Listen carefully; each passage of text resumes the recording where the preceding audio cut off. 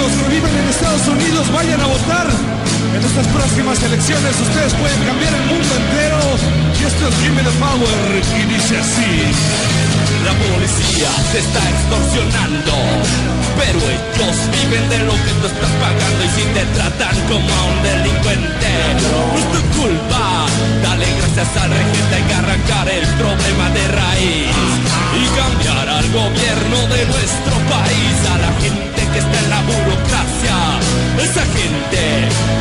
gustan las migajas, yo por eso me quejo y me quejo, porque aquí es donde vivo, yo ya no soy un pendejo que no vayas los puestos del gobierno.